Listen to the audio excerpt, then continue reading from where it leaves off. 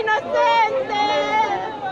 Estamos en todos los pueblos matando a la gente inocente. Vemos los manifestantes que protestan en paz. Su única arma es la Biblia, mientras los militares vemos que están armados, reforzados. Vemos estas imágenes conmovedoras aquí en el centro de Guayaquil, en la 9 de octubre. Su única, su única espada es la Biblia, mientras ellos están armados.